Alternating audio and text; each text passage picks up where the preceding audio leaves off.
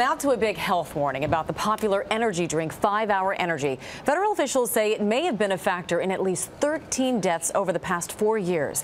ABC's Jim Avila has the story. It's a small bottle, just two ounces, but packs a powerful caffeine punch equal to two cups of coffee. Having one of those days? Tired, groggy. Five Hour Energy led the way in this new and growing segment of energy drinks, a stiff shot of caffeine and vitamins to jolt you awake.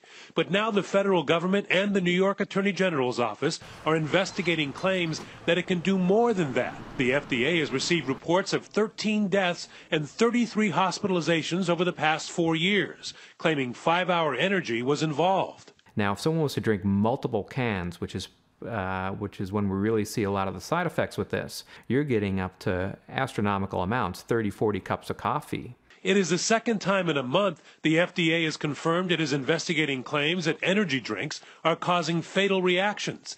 In October, Monster Energy, another popular drink that contains even more caffeine, was linked to five deaths.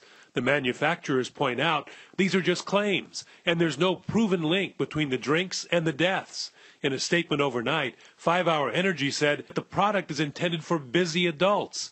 The company says its compact product contains about as much caffeine as a cup of the leading premium coffee.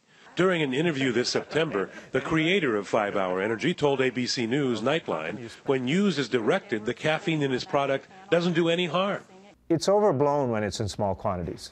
It's like this water is good, but if you have too much, you drown. The FDA warning this morning that while there's no proven link between energy drinks and these reported deaths, you should check with your doctor before drinking them.